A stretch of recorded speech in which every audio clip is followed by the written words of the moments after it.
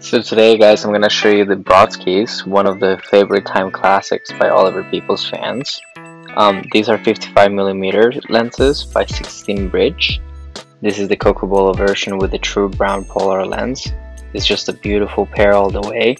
I love the way in the arms you could see the metal accents by Oliver Peoples which makes it very unique and authentic as well as the for authentication purposes of course but it's just so hard to replicate because this design as well as the materials are so well done that even though it's one of the oldest styles, it's probably one of the best ones that have been made.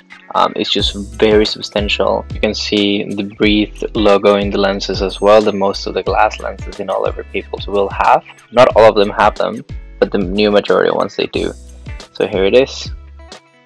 So in terms of fitting, these guys um, are 55 and as you know guys I have a big head so these guys actually feel pretty fantastic. This is the first pair Oliver Peoples have ever seen live in a store and it's what caught me into buying this brand.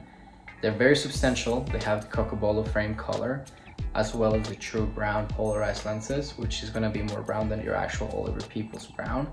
Um, and it's just very very high definition when you have them on with that VFX polarized and that crystal clear lenses very awesome frame to have. It's super comfortable. You can dress it up and down with anything. And um, yeah, this is just the perfect size for a lot of people. And as you know, any place that you buy them, they could adjust them for you. But yeah, Brodsky is one of my favorites.